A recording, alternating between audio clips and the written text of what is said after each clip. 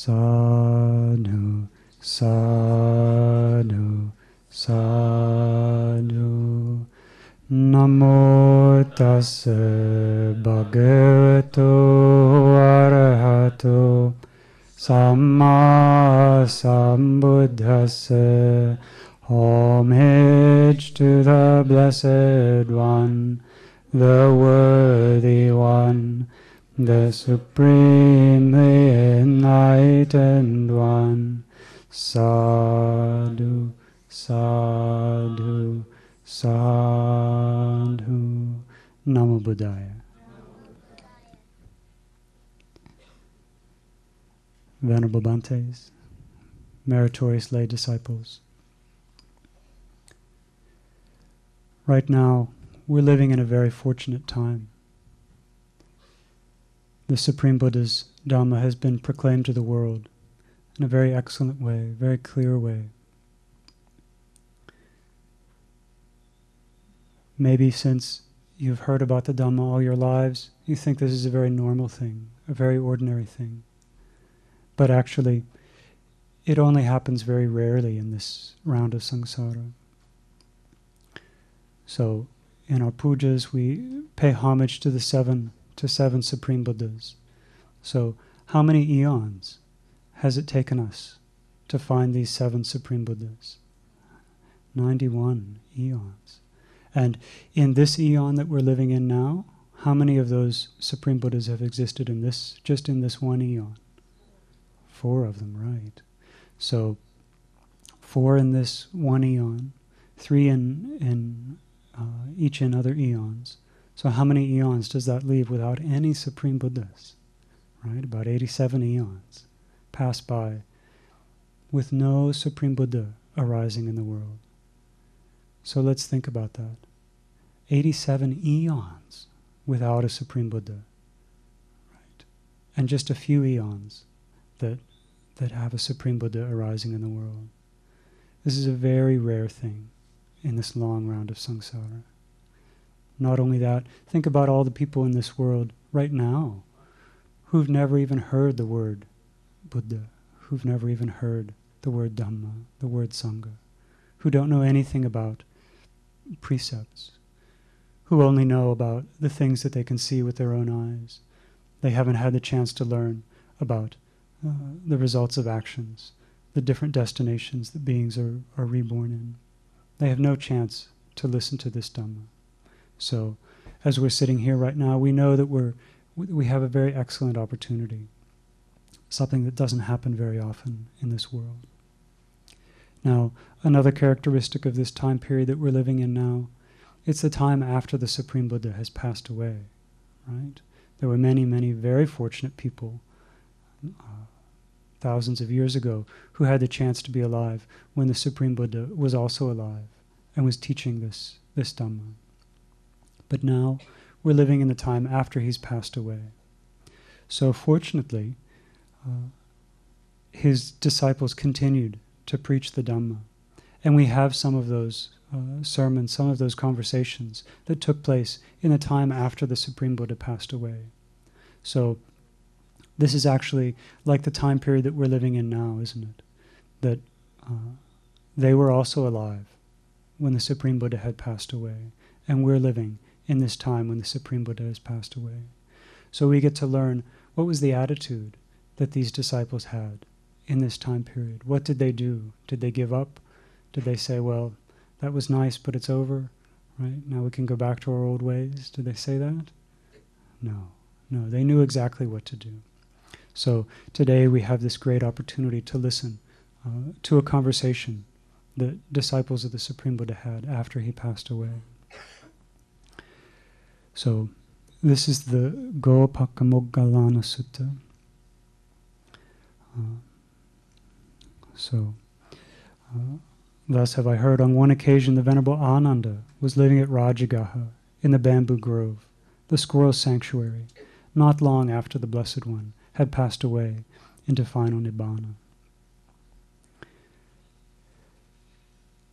And at that time, King Ajatasattu Vedehiputta of Magadha was suspicious of King Pajjota and he was having Rajagaha fortified. So he was nervous about this other king. And so he was having the city built up, he was having the city protected. So again, we can think, you know, this sounds very familiar. Don't we also live in a time when, when countries are fighting with each other? They're nervous one country is going to attack another? So we can see this Dhamma, it relates to, to all of our all of our lives. That that things were very similar in the time of the Supreme Buddha. Maybe they didn't have computers and, and iPhones and things like that, but the basic problems of life, exactly the same. People were greedy, people had hatred, people had delusion. And that's what's most important, because that's what we what we learn how to overcome. So that morning, the Venerable Ananda uh, got up and he got dressed, getting ready to go in uh, to Rajagaha for alms. But he decided it was too early to go for alms. So he thought that he would go and visit this Gopaka Moggallana at his workplace. So he went there, uh, and this Brahmin was very happy to see the Venerable Ananda. So he said, Welcome, please come. It's been a long time since we've had a chance to, to see you. Please come. Here, the seat is, is ready for you. Please have a seat. So, uh, this Brahmin paid respects to the Venerable Ananda and he sat to the side. And he asked the Venerable Ananda a question. He said, Master Ananda, is there any single bhikkhu who possesses in each and every way all those qualities that were possessed by Master Gotama, accomplished and fully enlightened? So, this is the question Is there any bhikkhu that possesses all the, qualities of the Supreme Buddha? So, let's begin by, by recollecting what these qualities are. So, uh, what's the first quality of the Supreme Buddha? Araham. So, what does this quality mean? He's, he's removed all of his defilements. He no longer has uh, greed uh, with his eyes for physical, for objects to see. He's not greedy for sounds to listen to, not greedy for smells, not greedy for tastes, not greedy for things to touch, not even greedy for things to think about. So, because he's uh, eliminated all of these, all of these defilements, we call him araham, araham. So, this quality of araham do we only find that in the Supreme Buddha, or do we do we find that in other uh, some other disciples? Yeah, that we find in in other disciples, don't we? This is the basic qualities of an arahant, someone who's eradicated their greed, hatred, and delusion. So the next quality, samma sambuddho. So what does this mean? Yeah, the Supreme Buddha uh, discovered these four noble truths without anyone, without anyone's help. He understood suffering. He eradicated the cause of suffering. Uh, he he understood these four noble truths all by himself. He didn't go to a teacher to get these like we do. Uh, he discovered them on his own the night of his enlightenment. So, is this a quality of of other disciples of the Supreme Buddha? No, this is a special quality, only of the Samma Sambuddha, that, that he was able to make this discovery on his own. So the next, the next quality, Vidya Charana Sampanno. Yeah, so he was possessed of excellent qualities, uh, excellent knowledge, and excellent virtue. So he had uh, psychic powers, he had the ability to to understand the minds of, of other beings. And his virtue was perfect. His conduct was perfect. You couldn't see any conduct in the Supreme Buddha, bodily conduct, verbal conduct, mental conduct, that had any any flaws. He never uh, broke any of the, the moral precepts. So is this a quality uh, only of the Supreme Buddha, or do are there other disciples who share this quality? Mm. Yeah, These qualities, we can find these qualities in other disciples as well. Many of his disciples gained psychic powers, the ability to know the minds of others of other beings. And all of the arahants, they have this perfect virtue, uh, this perfect concentration, this perfect insight. So this is a quality that's shared. Then the next quality, sugato. So he he realized this path. So if the Supreme Buddha had only put an end to this round of samsara for himself, that would have been amazing. That a that a human being could put an end to this round of samsara. That in itself is amazing. But he didn't do just that. He discovered a path. He discovered a method that he could teach to people so they could also put an end to this round of samsara. So he discovered a method that people could use. Now, is this a quality of, uh, of other disciples as well? No, this is a special quality of the, the Supreme Buddha, uh, that he was able to, to teach this Dhamma to others in a way that they could follow this path, that he discovered the method uh, for people to use to put an end to samsara. The next quality, lokavidu. So he understood these different worlds the human world, the animal world, the ghost world, the hell world, and the heavenly world. He was able to, to see these different destinations. And not only that, but he was able to see how beings pass on because of their actions and are born in each of these destinations. So, is this a quality only of the Sammasambuddha, or are there Arahant disciples who can see these other worlds? Who can see how beings pass on according to their actions.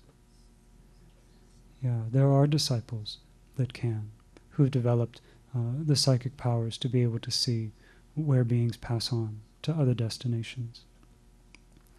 Uh, and to, to be able to visit these other worlds, to be able to learn uh, in detail about these other worlds, that this is a quality of other disciples as well. So Anuttaro Purisadamma Sarathi, supreme teacher of people to be tra- to be tamed, people to be trained. So the Supreme Buddha, uh, if someone had any chance of realizing this Dhamma, he was able to teach them in such a way that they could understand this Dhamma. Even if you or I might have given up on that person and said, oh, "There's no chance that they can that they can realize the Dhamma." You know, it happened in the time of the Supreme Buddha. He might see someone and say, you know, this person, by the end of the day, he's going to attain Nibbana. He's going to pass into final Nibbana. Once he said that about a man who was riding an elephant. He was drunk on top of this elephant. And the Supreme Buddha said, is, and, and this man, he didn't even have, I mean, he was drunk. Uh, and so when he passed by the Supreme Buddha, he didn't even get down and pay homage to the Supreme Buddha. He just sort of nodded his head like, "Hey there, how you doing, Supreme Buddha?" Right? Shocking, amazing. But the Supreme Buddha knew this person. He has the opportunity to understand the, the Four Noble Truths on this very day. Right? Would we ever guess that? Never. We would say, oh, going to a bad destination, right? That's what we would say. But he was the Supreme Buddha. He knew uh, the characteristics of individuals, the nature of beings. He could see the, the past karma that they had done that would allow them to realize these Four Noble Truths. So, is this a quality of, of his disciples or only of the Supreme Buddha? Only of the Supreme Buddha. Even sometimes his greatest disciples weren't able to, to take someone uh, to the to the highest knowledge that they were capable of doing. Even the Venerable Sariputta, once he he decided to teach a Brahmin only the way to the to the Brahma worlds. And when he reported this to the Supreme Buddha, he said, Why didn't you the Supreme Buddha said, Why didn't you teach him the Dhamma all the way to Nibbana? Right? So even as great, I mean think about it, as excellent as the Venerable Sariputta is, the general of the Dhamma, the one who keeps the wheel turning even he didn't have this this perfect ability that the Supreme Buddha had to teach people uh, the way uh, to attain nibbana. So the next quality, sattha deva manussanam, teacher of gods and humans. So not only did the Supreme Buddha teach human beings, but he taught heavenly beings as well. In fact, uh, sometimes people would be uh, would be worshiping heavenly beings and not know is this is the Supreme Buddha a disciple of this heavenly being, or is this heavenly being a disciple of the Supreme Buddha? Right. So then the Supreme Buddha would would give the, the Devata a hint and say, clear this up for these people, and then the Devata would bow down and pay homage to the Supreme Buddha. So, this quality of teacher of gods and humans, is this a, a quality only of the Supreme Buddha? Or did his disciples also teach human beings? Did his disciples also teach heavenly beings? Yeah. So there were disciples who taught both humans and heavenly beings. Not all of his disciples taught, but there were some who taught uh, both heavenly beings and human beings. And uh, the next quality, buddho. So the Supreme Buddha taught this Dhamma without holding anything back. He didn't keep this Dhamma a secret. So he was able to, to teach other people this Dhamma. And then the last quality, Bhagava. So, uh, Blessed One. So, from this quality, we learn the Supreme Buddha is the only one that has all of these qualities. That his disciples may have some of these qualities, uh, they may not have any of them, or they may not have all of them, but there are some disciples that do have uh, that do have some of these qualities, but none of them have every single quality uh, in common with the Supreme Buddha. So let's let's remember what's happening in this uh, in this sutta that uh, the Venerable Ananda has gone to visit this Brahmin, and the Brahmin has asked him, "Is there any single bhikkhu who possesses in each and every way all those qualities that were possessed by Master Gotama, accomplished and fully enlightened. And the Venerable Ananda says, There is no single bhikkhu Brahman who possesses in each and every way all those qualities that were possessed by the Blessed One, accomplished and fully enlightened. For the Blessed One was the arouser of the unarisen path, the producer of the unproduced path, the declarer of the undeclared path. He was the knower of the path, the finder of the path, the one skilled in the path. But his disciples now abide following that path and become possessed of it afterwards. So here the Venerable Ananda explains that the Supreme Buddha, he's the one that discovered this path. He discovered this method. We can remember the simile of the, uh, the city that was hidden in the forest. And the person comes along and discovers this city. They discover the way to this city, and they make this way clear. So, this is what the Supreme Buddha did. Uh, he was the one that discovered this path. Without him, his disciples would have never had the chance to realize this path to Nibbana. And his disciples, they followed the instructions of the Supreme Buddha and are able to attain this same, uh, this same result of putting an end to the round of samsara. So after the Venerable Ananda answered this question, they got interrupted. Someone, uh, someone came in, and it was the Brahman Vassakara, the chief minister of Magadha. He was working on these, uh, making the city strong to protect it. So he came in and they had some polite conversation. He bowed down, paid respect to the Venerable Ananda, and asked, What was it that you were discussing? What were you talking about when I, when I walked in? And the Venerable Ananda explained, uh, This Brahmin asked me uh, if there was any single bhikkhu who possessed all the qualities in each and every way as this, the same as the Supreme Buddha. And I explained to him, no, that there isn't, that the Supreme Buddha is the one who discovered this path who uh, made this path available for other beings to follow. So then the Brahmin asked, Is there, Master Ananda, any single bhikkhu who was appointed by Master Gotama thus, He will be your refuge when I am gone, and whom you now have recourse to? So this Brahmin was thinking about things in terms of uh, ordinary systems, ordinary groups, ordinary, ordinary organizations. Because isn't that, isn't it true that Uh, a king is very concerned about who's going to take over the kingdom when he dies. If someone owns a company, then they're very concerned. You know, when I when I can't work here anymore, who's going to continue this company? Who can I appoint? Who uh, who can be the leader of this company when I'm gone? This is a very ordinary way uh, that people think in this world. So it's a very uh, it's a very normal question for someone to ask. Who uh, is there anyone that the Supreme Buddha appointed to be head of the uh, head of the sangha when he passed away? So what do you think? Is there someone that the Supreme Buddha appointed as chief, head monk in charge? So this is what the Venerable Ananda said.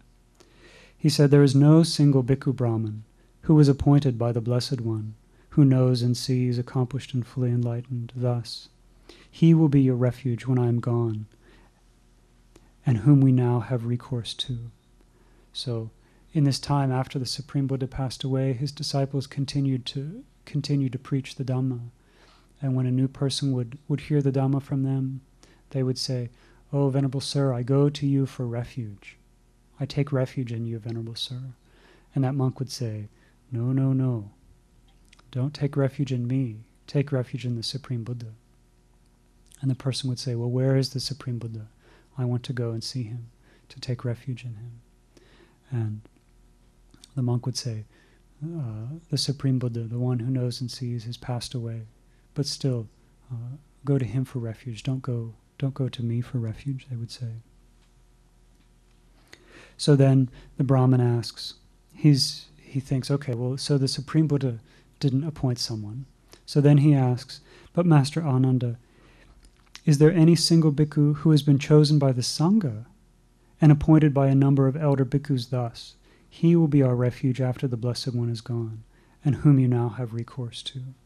So, did the Sangha get together and have an election? Right? That's another method. People elect a leader. If the, the previous leader doesn't pick a new one, then people get together and they, they appoint a leader amongst themselves. It's a very normal thing in the world. So it's a good question that he asked. Uh, have you has the sangha chosen someone that when you have a problem you can go to that that person and that person can settle your disputes. And then the venerable ananda says there is no single bhikkhu brahman who has been chosen by the sangha and appointed by a number of elder bhikkhus thus. He will be our refuge after the blessed one is gone and whom we now have recourse to. So he says no the sangha didn't get together and pick a single bhikkhu. So now this Brahmin is, he's a little puzzled. He says, But if you have no refuge, Master Ananda, what is the cause for your concord? So what's concord? It's when people live in harmony together. So uh, in the time of the Supreme Buddha, there were other spiritual teachers, of course. But when they passed away, sometimes everything fell apart, right? Because their Dhamma wasn't very well proclaimed. And so when the, the teacher passed away, then the students, because they, they didn't have a good Dhamma to practice, they started fighting with each other. They say, you know, I'm the one who understands this now. And someone else would say, no, no, no, you don't understand it, I understand it. And they would, they would quarrel, even so much that the lay disciples would get discouraged and say, ugh, what good is this Dhamma, right? So that was an ordinary thing that would happen. But this Brahmin saw that, that didn't happen to these, to these monks and nuns, these lay disciples. When the Supreme Buddha passed away, they continued to live in harmony. So what, how does that happen? How can that be? That's not an ordinary thing. Then the Venerable Ananda says, We are not without a refuge, Brahman. We have a refuge. So what do you think the refuge is? The Dhamma. Yes. We have a refuge. We have the Dhamma as our refuge. So now the, the Brahman, he needs to he needs to really understand this. So he says, when we asked, uh, is there anyone that the Supreme Buddha has appointed to be the, the leader after he was gone? You said no. And when we asked, has the Sangha elected someone? You said no. And then we asked, well, why are you harmonious? Who do you take refuge in? Uh, and they said, and you said, we take the Dhamma as our refuge. What does that mean? How can I understand that? How does someone how does someone have a teaching as their leader? Right? Ordinarily people think of a leader as someone that they can go to, someone that they can they can ask questions to. But here the Venerable Ananda is saying, no, uh, the Dhamma is what we go for refuge to. So then the Venerable Ananda explains. He says, Brahman, the Blessed One who knows and sees, accomplished and fully enlightened, has prescribed the course of training for bhikkhus and has laid down the patimokkha. So, do you know what the patimokkha is? Yeah. So, the Supreme Buddha, when he was alive, when there was a problem in the Sangha, when someone did something that, that wasn't appropriate, he would make a rule. So he waited until there was some problem, until something happened, and then he could say, okay, see this problem? You shouldn't do that. We're going to have a way to, to prevent that, that problem from happening. So he would lay down a rule. And sometimes he would adjust the rules uh, if conditions changed or, or add details to the rules. So this is what uh, a Supreme Buddha does sometimes. And when a Supreme Buddha lays down a patimokkha in great detail, then his dispensation will last for a very long time. So some Supreme Buddhas, they they don't they don't give a patimokkha like this in great detail. They give a very basic patimokkha. Uh, abstain from doing wrong, do wholesome things, purify your mind. And for the monks that are alive in that time, they're able to use that because they're very wise. They're able to use that uh, as their as their training, as their patimokkha.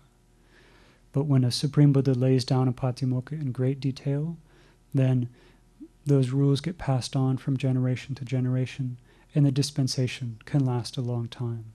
So we can see already uh, that our Gautama Supreme Buddha's dispensation has lasted over 2,500 years because he laid down this, this patimokkha in detail. So the Venerable Ananda continues. He says, On the Uposatha days, as many of us live in dependence on a single village district, meet together in unison. So all those monks who live in dependence on a, on a certain city, they would get together in harmony. And when we meet, we ask one who knows the Patimokkha to recite it. So this is what monks do even now. They get together, all the monks that, that live together, they get together, and one monk recites all of these rules as a reminder uh, every two weeks on the full moon and on the new moon. So if a bhikkhu remembers an offense or a transgression while the patimokkha is being recited, we make him act in accordance with the Dhamma, in accordance with the instructions. So the Supreme Buddha, uh, all the rules are not uh, equal in terms of how you correct your behavior. So some of the rules uh, are very serious rules, like engaging in sexual uh, activity with another person, uh, stealing something of value, very heavy things like that, uh, lying about your uh, spiritual attainments, killing a human being. So uh, if someone breaks those rules, then what happens to them? They're no longer a monk they can't continue uh, to live with the Sangha. Even if they're wearing robes still, they're not a monk. When someone has broken one of those rules, uh, there's no there's no way that the Supreme Buddha gave for for uh, correcting uh, that misconduct. So as long as that person lives, they're not able to to become uh, a monk again. So then there are other rules, uh, sanghadisesa rules. So those rules are very serious. If someone breaks one of those rules, then you have to get a large group of monks together to help that, that monk overcome that offense. So he has to go through a period of uh, probation where he has to follow special rules. It's very complicated. And in order to, uh, to clear that offense, you have to get together 20 monks uh, to, to clear that offense. So this, these are very serious rules. Then uh, some rules uh, involve accepting something that they're not that you're not allowed to have, or having something that you're not allowed to have. And with those rules, you have to give up whatever this is uh, that you've accepted uh, or something that you've, you've mishandled. So, for example, if a monk uh, accepts money from someone, monks are not allowed to, to accept money. So, that's one of these special rules. The monk has to, has to give up that money to the Sangha, uh, and then the Sangha has to dispose of it. If a monk, uh, so for example, our three robes, our upper robe, our lower robe, and our outer robe, we have to be with those robes each day. We can't get separated from those robes. So uh, if dawn comes and goes and we're separated from those robes, then we have to confess that to another monk. Not only that, we have to, to forfeit that robe to the monk. We have to, to give it to the other monk, and then the monk gives it back to us, and then we can start to use it again. Uh, robe cloth, we can only keep for a, a short period of time without determining uh, what we're going to use it for, without making it into a, a requisite. So this keeps monks from, from collecting too much too much stuff, too much cloth. So if we get uh, some cloth, we have a certain amount of time to make that into a requisite. And if we take too long, if we try and hoard the cloth, we forget about it, then before we can use that cloth, we have to, to give it up to another monk.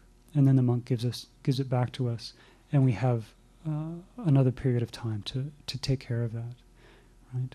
So amazing things, you know, details that, that we would have never thought about, but ways that the Supreme Buddha gave us to train our mind, to make sure we were very careful about the requisites that we, that we used, about the way we interacted with other people, with the Sangha.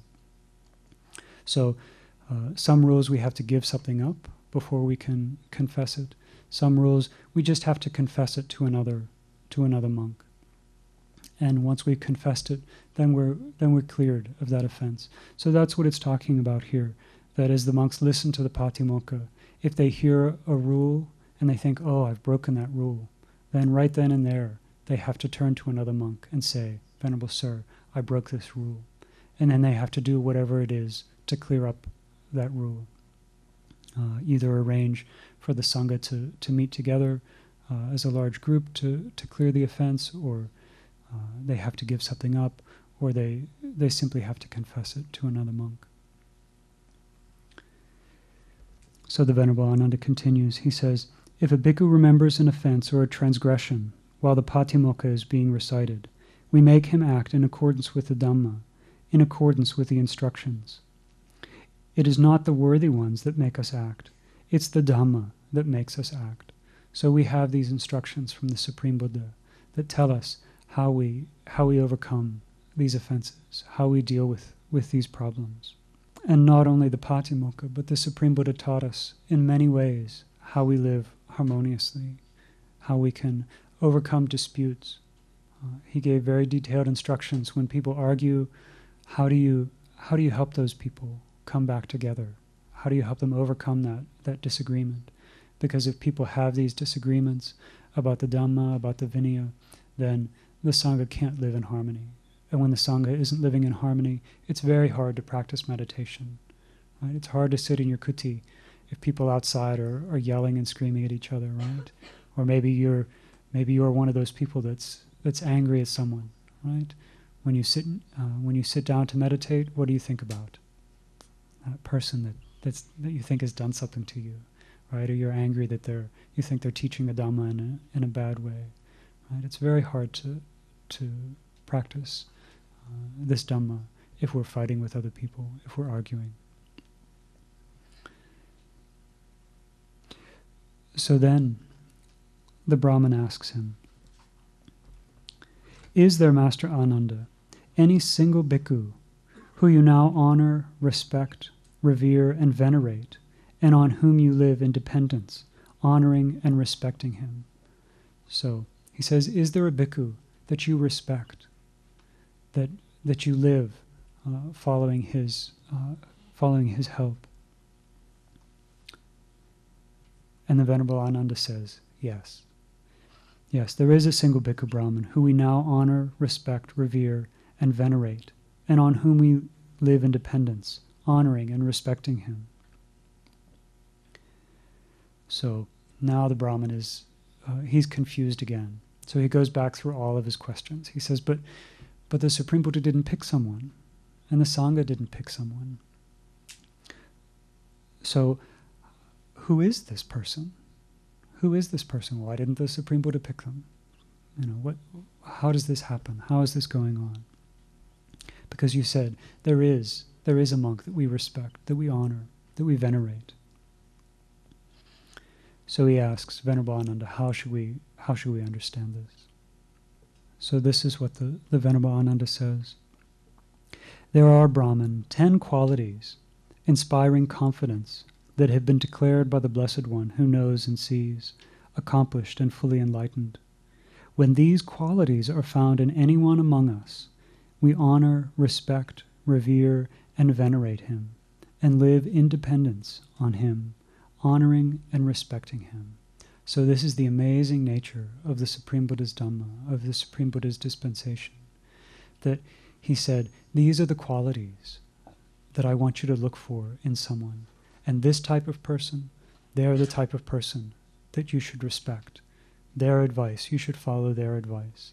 They'll help you understand this Dhamma. So, this, this system, it's really excellent, isn't it? Because even if the Supreme Buddha had, had appointed someone, right, maybe some people like that person, some people don't, they, they get in disputes over that, and then that person passes away, right? And then a new person has to be elected or chosen. But what the Supreme Buddha did, he said, these are the qualities that you should look for. And it's really excellent because these are also qualities that we should develop in ourselves. Right? So when we when we know that these qualities are to be respected in another person, then we know for sure these are qualities that we should try and develop in ourselves. So the first quality. Here, Brahman, a bhikkhu is virtuous. He dwells restrained with the restraint of the patimokkha. He is perfect in conduct and resort, and seeing fear in the slightest faults. He trains himself by undertaking the training precepts. So, this first quality of this, this monk that should be followed, he trains in the patimokkha.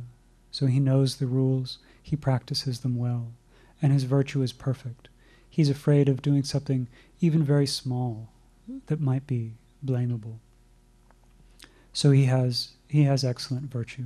This is the first thing to look out for. So, these qualities, these are very important for us we don't we shouldn't think that these are just qualities that were important to the venerable ananda right long long ago that these are what we need to look out for in people in any kalyanamitta to see you know is this someone who's virtuous can i trust their actions are they going to do the right thing even when it's difficult because the supreme buddha says if we want to understand this dhamma we have to associate with good people because when we do that we get to hear the Blessed One's teachings. So we need to know how to identify who these good people are that we want to associate with. So the second quality, he has learned much, remembers what he has learned, and consolidates what he has learned. So he knows the Dhamma. Uh, and not only that, but he's practiced this Dhamma well. He doesn't just memorize the teachings, but he looks at them, he reflects on them, he thinks about them. You know, what, what is the meaning of this? How can I apply this to my life? So he hasn't just memorized that, that the eye is impermanent, that visual objects are impermanent, right? He's been able to see for himself directly that, that anything that he's able to see with his eyes is completely impermanent. It won't last. That there's nothing that, that will get any happiness from by being attached to. So he understands this very deeply not just uh, not just memorized these things, but has has investigated them and knows absolutely for sure that this Dhamma is true. So this is the second quality. He's learned a lot of Dhamma and investigated it and understood it very well. The third quality, he's content with his robes, alms food, resting place, and medicinal requisites. So whatever robes he gets, he's happy to wear those. Whatever food he gets, that's good enough for him. Whatever uh, bed he's given to sleep on, he's happy with that with that bed. Whatever medicine uh, he's given for his illness, he makes do with that medicine. The Supreme Buddha said that someone who's not happy with their alms food, who criticizes the alms food, will never be able to concentrate their mind. Right? If you're not if you're not happy with these things that you get, then your mind is always thinking, "Oh, how can I get better alms food? Maybe if I go for alms round in this village, uh, on this street, if they're wealthy, I'll get better food there." Right? So instead of sitting in his kuti cultivating wholesome thoughts, he's scheming, he's planning. How can I get better alms food? You know, who might want to give me a nice robe? So this is how uh, this is how some bhikkhus spend their time. But we want to we want to look and see how can we find a monk who's content with with whatever's given to him.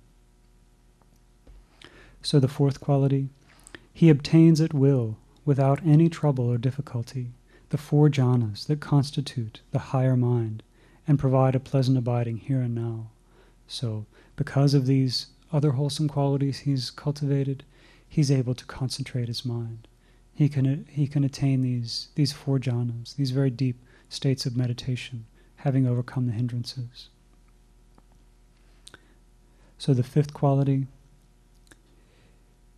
he has the various kinds of supernormal powers. So, having been one, he becomes many. Having been many, he becomes one. So, uh, a monk that has these psychic powers, they can duplicate their body.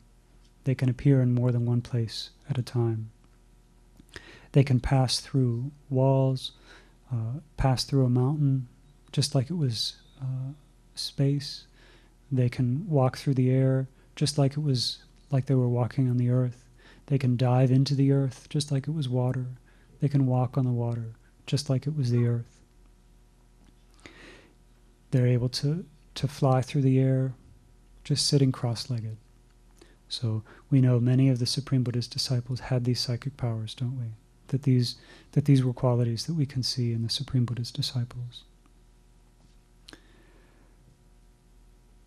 So the sixth quality, he's developed uh, the divine ear. So this is a special, uh, a special quality where beings are able to hear sounds that are very far away. Normally, we can just hear those, those sounds that are in the same room or maybe close by outside. But someone who's developed uh, the divine ear, they can hear sounds that are very far away. And not only ordinary sounds like we can hear, but heavenly sounds. They can, they can hear uh, the sounds of heavenly beings. So, the seventh quality, he understands the minds of other beings. So, this is a special quality that uh, that some beings are able to develop, where they can understand the nature of other human beings' minds. Do you remember the instructions we got a few days ago? That the Supreme Buddha said, if we can't, uh, if we can't read the minds of others, whose mind should we be able to read? Our own mind, right? So that's a very important, uh, a very important practice for us. But there were, in fact, uh, monks who were able to know the minds of other, uh, the minds of other beings. So they would know a mind that was affected by lust as a lustful mind, a mind affected by hate as a mind affected by hate, a mind affected by delusion as a mind affected by delusion, a contracted and a distracted mind, so they could tell what's going on in this person's mind. Are they happy right now, or are they are they depressed? Do they have uh, greed in their mind, hate in their mind, delusion in their mind? So we can we can understand that that if we can find a monk like this, it's very helpful, isn't it? Right? We can go to that that person and they understand the nature of our mind. They can they can know right away how to help us. So all these different qualities of the mind, someone can know. Then the eighth quality he can remember his past lives. Not just one life, not just two lives, but many, many lives. Thousands of lives, hundreds of thousands of lives. And not just uh, what his name was in the previous life, but all the details about how he lived that life. Uh, so, this is the eighth quality the ability to recollect uh, his own past lives. And the ninth quality the ability to understand how beings pass on according to their actions. So we can see very clearly how important this quality would be in someone who is trying to help us, that they would be able to teach us. You know, when you do these sorts of actions, it's going to have this result. They've seen for themselves how beings pass on to a bad destination because they've done unwholesome things, and how beings who've practiced meditation, who've practiced generosity, who've practiced morality, that they are reborn in a heavenly destination, in a good place. And then the tenth quality, by realizing for himself with direct knowledge, he here and now enters upon and abides in the deliverance of mind and deliverance by wisdom that are taintless with the destruction of the taints. So, is this an ordinary human being? They've destroyed all the taints. What does that make them? Makes them an arahant, right? So these arahants, these are beings that that we want to listen to. We want to follow their instructions. We want to have them as kalyanamittas. So then the, the Venerable Ananda says, These Brahman are the ten qualities inspiring confidence that have been declared by the Blessed One. So these, these are the things that we look for in a person. And when someone has these ten qualities, then they're someone that we go to uh, for protection. We ask for their help. We want to follow their instructions.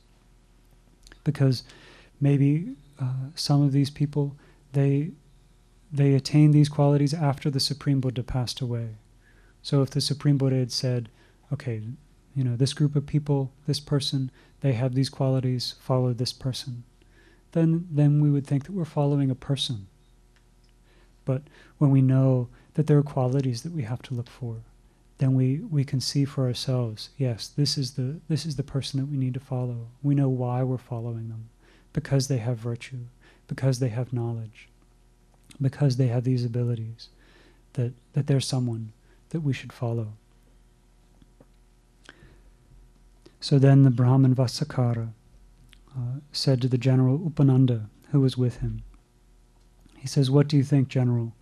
When these worthy ones honor one who should be honored, respected, one who should be respected, revered, uh, revere one who should be revered, and venerate one who should be venerated, surely they honor someone who should be honored, they respect someone who should be respected, they venerate someone who should be respected, who should be venerated.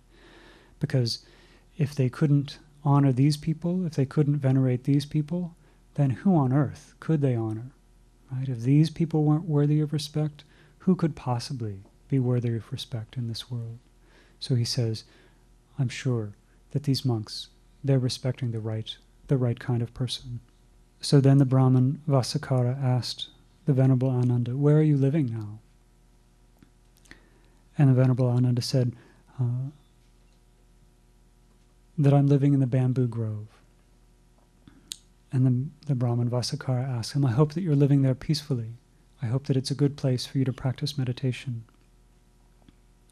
That, that you're not disturbed by, by voices, that it's a peaceful place, a good place for retreat.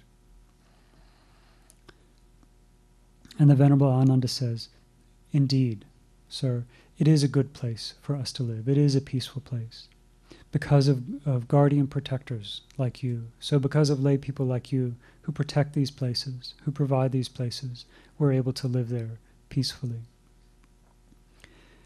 And then the Brahmin says, So indeed, the bamboo grove is pleasant.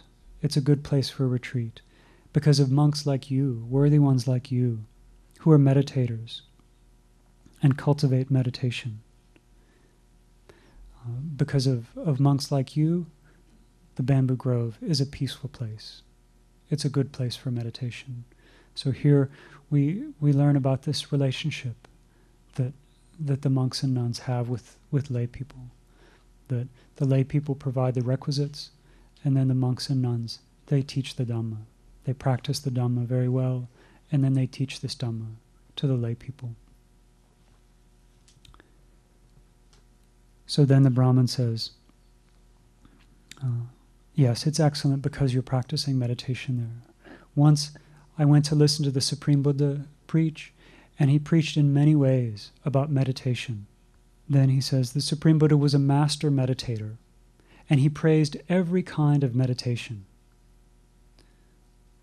So, what do you think? Did the Supreme Buddha praise every kind of meditation? He praised a lot of kinds of meditation. So then the Venerable Ananda says, The Blessed One Brahman did not praise every kind of meditation, nor did he condemn every kind of meditation. So here's one of those subtle, subtle points where people, uh, he thought he understood the Dhamma, right? He heard the Supreme Buddha talk in praise of all sorts of kinds of meditation, so he made this guess. He said, the Supreme Buddha must praise all kinds of meditation. But the Venerable Ananda said no. He didn't praise all kinds of meditation. He didn't condemn every kind of meditation, but he didn't praise every kind of meditation. He said, Suppose someone has lust in their mind, someone has a greedy mind, and they sit there thinking these thoughts of lust, thinking these thoughts of greed. So, and the person doesn't even know how to overcome these thoughts of lust, these thoughts of greed. Venerable Ananda said, the Supreme Buddha didn't praise this kind of meditation. So when we sit and we, we have all sorts of greedy thoughts, we think that we're meditating, we're meditating on our greedy thoughts. The Supreme Buddha said, no, that's not a good meditation. When we have hateful thoughts in our mind, when we keep thinking these hateful thoughts over and over again, the Supreme Buddha said, that's not my meditation. That's not the kind of meditation that you should be doing. So when we have these five hindrances, when we have sleepiness and drowsiness, when we're restless, when we're worried, when we have doubt, we can sit on the cushion and meditate for an hour, but we're not following the Supreme Buddha's teachings.